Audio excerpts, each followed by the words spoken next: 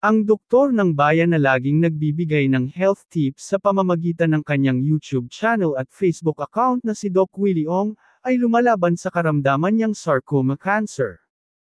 Ayon kay Doc Willie Ong, I have a large abdominal cancer, it is serious but I will fight this battle.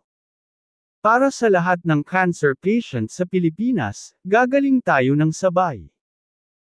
Sa kanyang YouTube channel na may titulong, My Battle Against Cancer, ay idinetalye niyang apat na araw na siyang nakakonfine sa hospital at nagke-chemotherapy.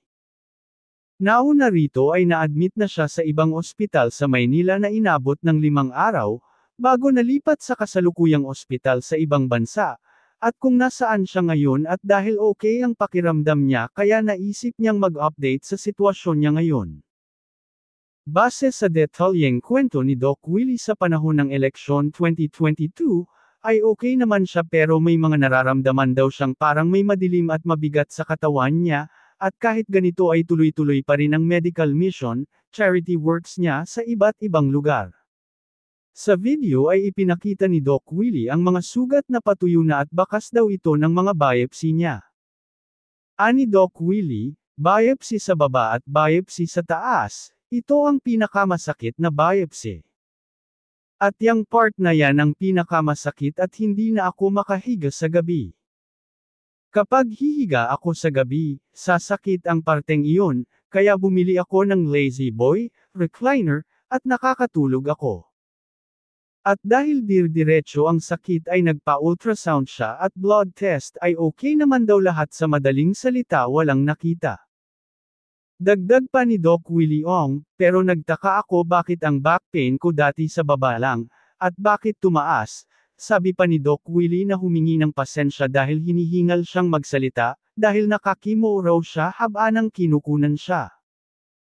Nitong ikalabing walo ng Agosto or labinsyam raw ay nakaramdam na siya ng matinding sakit na hindi na niya kinaya, kaya nagpa-admit siya sa isang ospital sa Maynila ng ikadalawampu ng Agosto.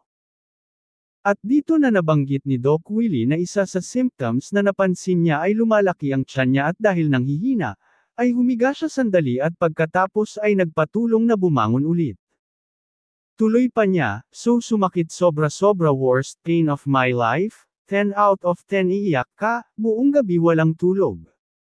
Mula sa pag-upo sa lazy boy sa gabi hanggang sumikat ang araw walang tulog, dasal ng dasal humihiyaw buong gabi. Ang bukol raw na ito, ay malaking malaki raw.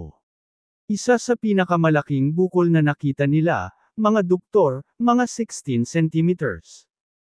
Sinabi ni Doc Willie na hindi na kayang gamutin dito sa Pilipinas.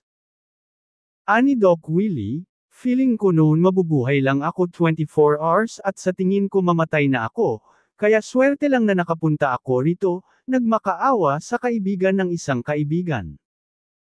Ang sakit na ito ni Doc Willie ay nakuha raw niya sa stress. Samantala, mabilis daw ang gamutan dahil 3 days chemo tapos maghihintay ng tatlong linggo at 3 days chemo ulit. Sabi nila makakalbo ako, kaya let's pray na gagaling ako. Pero sabi ng doktor ko, itong sarcoma cancer, ay mahirap na kalaban.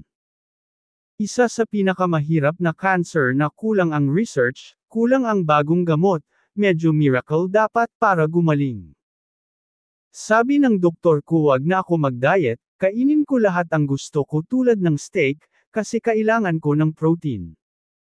Sa ngayon, kahit hirap na hirap na si Doc Willie Ong, sa pakikipaglaban sa kanyang sakit, ay humuhingi ito ng dasal, upang gumaling na ito.